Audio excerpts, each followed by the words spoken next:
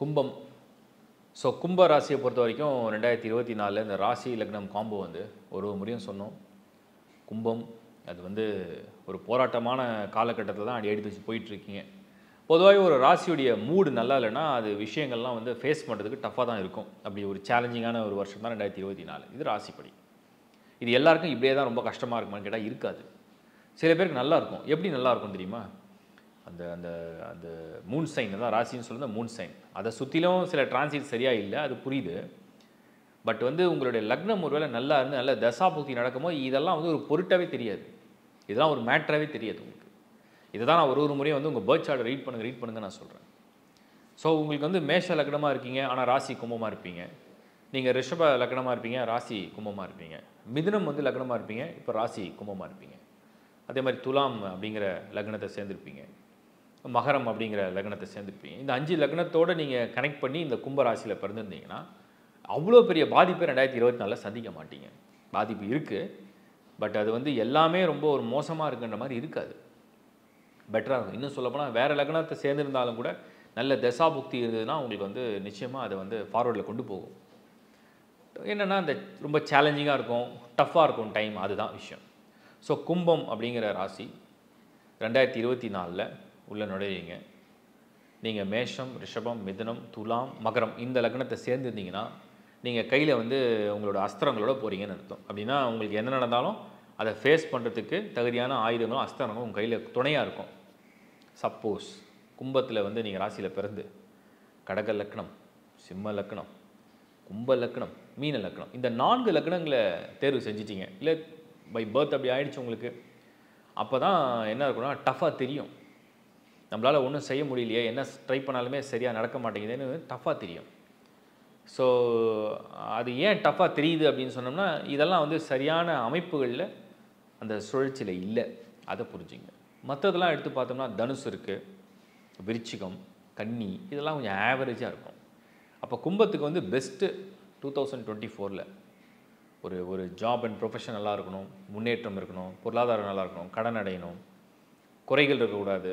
Health நல்லா இருக்கணும் wealth நல்லா இருக்கணும் ஃபேமிலி நல்லா இருக்கணும். ஹாப்பினஸ் இருக்கணும் ஸ்டூடெண்ட்ஸ்க்கு வந்து படிப்பு கரெக்டாக வரணும் நல்ல ஃபோக்கஸ் இருக்கணும்.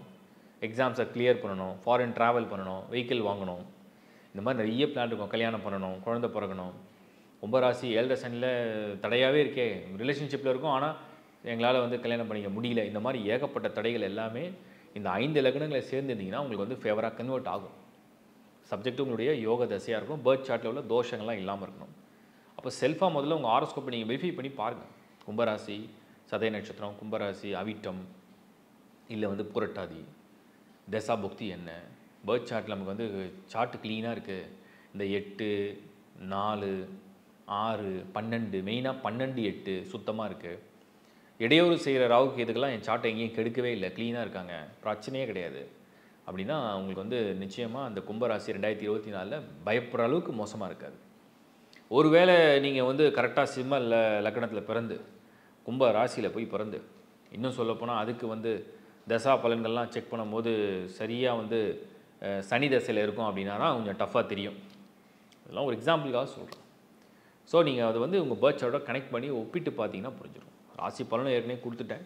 அதை கிளியராக பாருங்கள் ஹாரோஸ்கோப் வந்து டீட்டெயிலாக பார்க்கணும் ஒரு தடவை ஒரு ஓவர்வியூ பார்த்துக்கலாம் அப்படின்னு நினைக்கிறவங்க லைஃப் ஹாரோஸ்கோப் டாட் இனில் போய் உங்கள் சைட்டில் நம்ம சைட்டில் வந்து நீங்கள் அப்ளை பண்ணி எடுத்துக்கலாம்.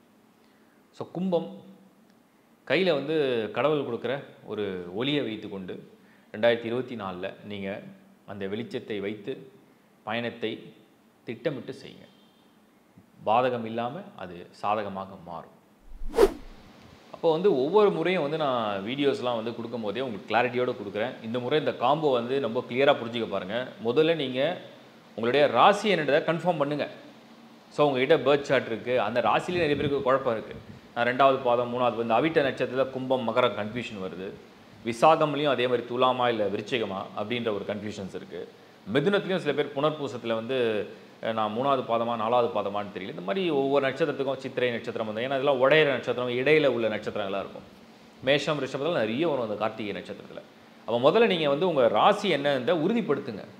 அப்போ உங்கள் date of birth time of birth கரெக்டாக இருக்கணும். நிறைய பேர் சொல்லுவாங்க டாக்டர் கொடுத்ததை வச்சு தான் நாங்கள் பண்ண முடியும். சி அஸ்ட்ராலஜி ரொம்ப உங்களுக்கு வந்து டீப்பாக நான் சொல்கிறேன் நீங்கள் வந்து எந்த மருத்துவர் என்ன டேட்டு டைம்லாம் கொடுத்தாலும் கூட அதுதான் நீங்கள் பிறந்த ஒரு ஊர்ஜிதமாக இருக்கும்.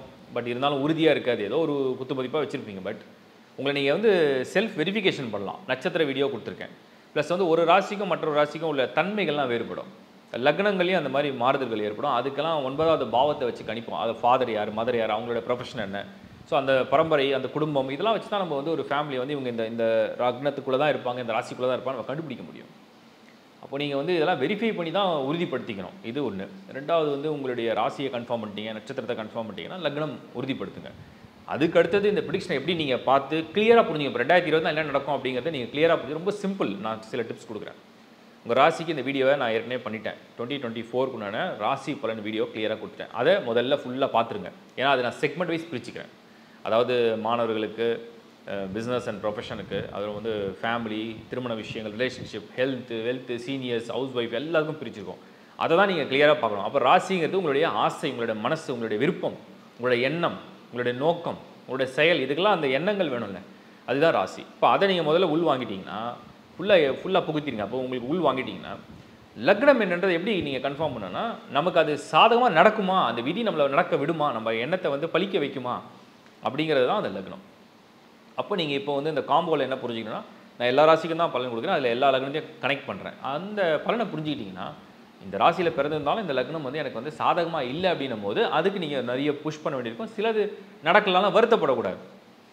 அப்போ அதை வந்து பிளானை வந்து பொறுமையாக போட்டுக்கலாம். சில ரிஸ்க் எடுக்காதீங்கன்னு சொல்லுவேன் சிலதை வந்து கொஞ்சம் பொறுமையாக யோசிச்சு பண்ணுங்கன்னு சொல்லுவேன் அப்போ அதை நீங்கள் புரிஞ்சுக்கணும். அடுத்து இதை விட மெயினாக என்ன கன்ஃபார்ம் பண்ணால் ஒரு வேளை லக்னமே கொஞ்சம் சுமாராக தான் இருக்குன்னு வச்சுப்போமே. இப்போ திசை நல்லா இருக்கா? அந்த லக்னத்துக்கு உகந்த திசையா? லக்னத்துக்கு உகந்த யோக திசையா? ஒன்றாம் இடத்துக்குரிய திசையா ஐந்தாம் இடத்துக்குரிய திசையா இல்லை ஒன்பதா ஒன் ஃபைவ் நைன் இல்லை ஒன் ஃபோர் செவன் டென் இந்த திசைகள் இல்லாமல் பாவ திசைகள் நடக்கும் சில பேருக்கு. பாவ திசைகள் நடக்கும் பொழுது அந்த ராசி நல்லா இருந்தால் கூட இந்த லக்னமே நல்லா இருந்தால் கூட அந்த பாவ திசை கெடுக்க ஆரம்பிக்கும். இதுதான் நான் வந்து ஒவ்வொரு முறையும் சொல்ல வரேன். அதுக்கு தான் நான் உங்களுக்கு வந்து லேர்ன் ஆஸ்ட்ரோவில் கிளாஸ் எடுத்தேன்.